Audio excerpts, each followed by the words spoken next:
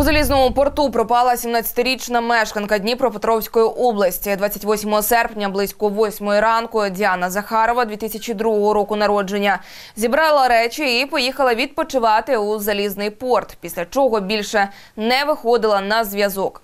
Поліція та родичі просять розшукати зниклу. Зріст її 163 сантиметри, худощава, має каштанове пряме волосся, карі очі. На момент зникнення була одягнута у джинсові шорти, футболку та білі босоніжки.